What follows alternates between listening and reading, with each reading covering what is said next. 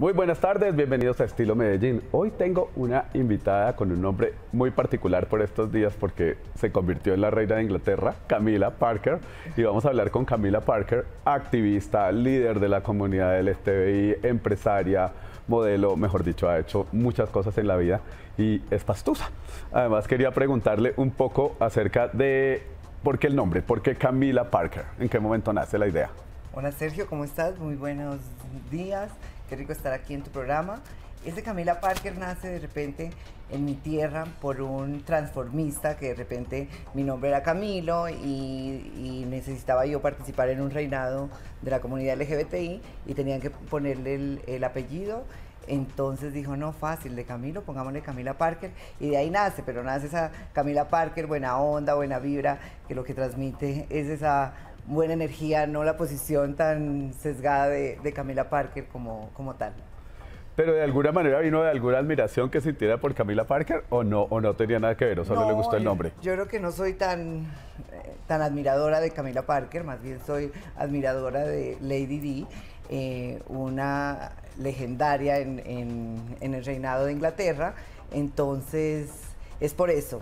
La Camila que tienen aquí es lo que les reitero, más buena onda, más fresca, más relajada y más pro con todo el mundo pasan cosas relacionadas con el tema de, la comunidad eh, y sobre todo pues con las, mujeres transgénero y es que muchas veces se limitan en profesiones. Entonces dicen no es que tengo que ser modelo o tengo que ser actriz o que tengo que trabajar en la industria de la belleza y me encanta pues por ejemplo usted que es una profesional completamente distinta y, y, qué piensa, qué consejo le da pues digamos a, todas las, mujeres trans que optan por la opción de vida que simplemente pues digamos el glamour y la belleza y todo.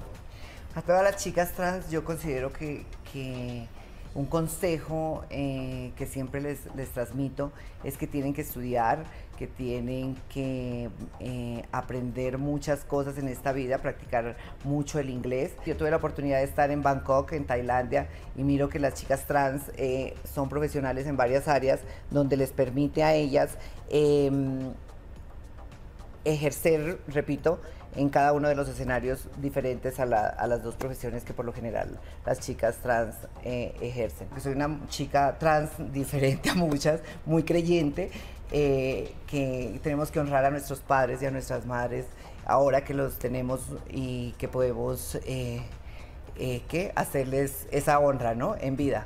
¿Le gusta el activismo? ¿Le gusta la política? ¿Se lanzaría algo?